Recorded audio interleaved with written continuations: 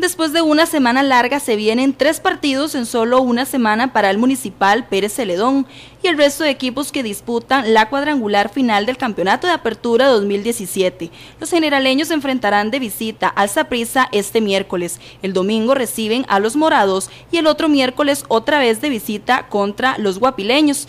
Un calendario ajetreado, sin tiempo para perder puntos en la carrera hacia la gran final del campeonato. José Giacone tiene un criterio acerca de este tipo de calendarización. Bueno, es, una maratón, una maratón para los jugadores, algo, algo que para mí me parece que, favorece mucho a, los que tienen planillas grandes.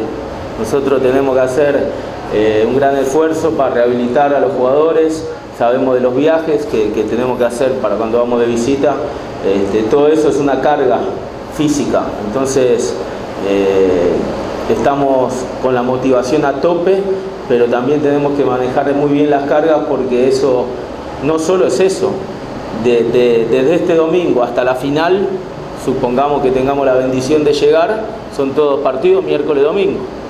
O sea, eso es algo, algo que va a favor de lo que tienen grandes planillas. ¿no? Nosotros tenemos una planilla corta, pero igual eso no va a ser ningún tipo de excusa para, para futuros resultados.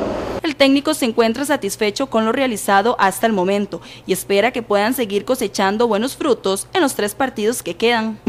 Hizo dos muy buenas presentaciones y pudimos lograr los resultados que queríamos. Todavía falta, falta mucho. Pienso que, que ahora nos toca jugar de visita y, y va a ser una medida también.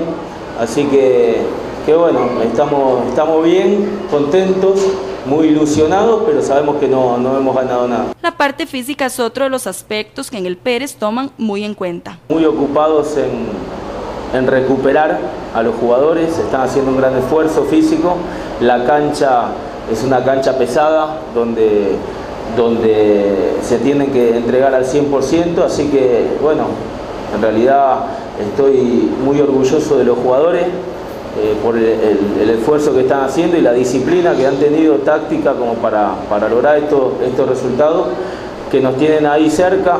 Sabemos que no logramos nada, pero este, estamos en una buena posición. Los guerreros del sur son los primeros en la tabla de la cuadrangular.